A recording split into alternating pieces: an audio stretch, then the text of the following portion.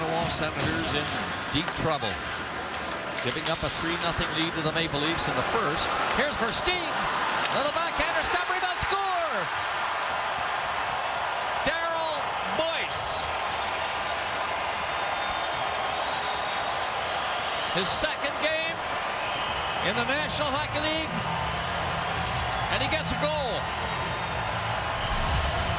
And congratulations to him. What a nice little shovel pass there by Schenn. And then it gets flipped into the middle, and Campoli gets way out too far. And when he does that, Versteeg's able to split the seam, and you'll see the seam here. Armstrong flips this into the middle, and there he comes right through Campoli, the backhand to the net. The first save is made, and right there is Boyce to put this into the back of the net. And again, a five on three for over a minute. A missed opportunity by the Ottawa Senators. Some good shot blocking by the Leafs, and they come out and get the goal.